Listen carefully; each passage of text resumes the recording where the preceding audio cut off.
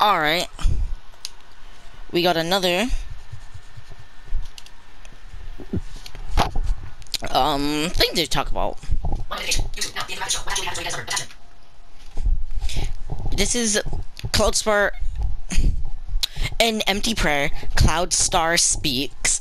This is after they're casted from the forest by the four other clans. And it just talks about how Cloudstar doesn't believe that Star Star clans with them, um, and how his his warriors want to go back to the forest, but obviously he can't, and he can't make false promises to them. And mm, this is a short dialogue about how Cloudstar feels, and honestly, I have to agree with Cloudstar. Star Clan claims that the the the survival for all of them is needed, but we can see that really isn't true. Because if that was true, the clans would have died out as soon as they kicked out Cloudstar. Unless you just have the four other clans, but I guarantee it's gonna be different now since since the Sky Clan's back in the main series. So I just never understood why they would even attempt to say that. Especially knowing that they had to have Firestar bring back Sky. They didn't even ask Firestar to bring back Sky Clan. They, they, they didn't want Sky Clan there in the first place.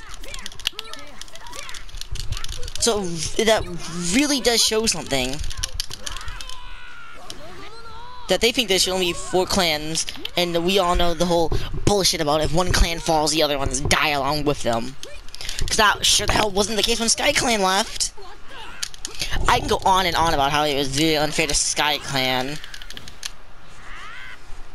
And the bullshit that that spurred from it.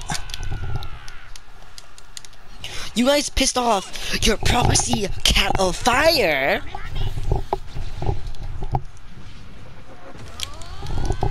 Just so he wouldn't bring them back, but he brought them back anyways.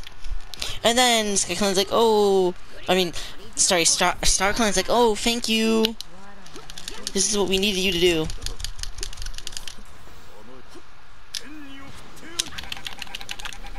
It is not what they needed.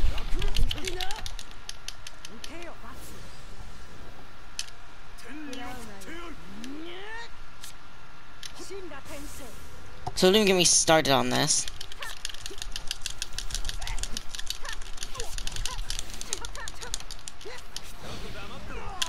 The entire fact is, they ended up fucking up.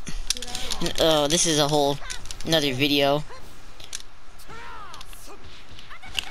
And this is more evidence against how Star Clan is evil.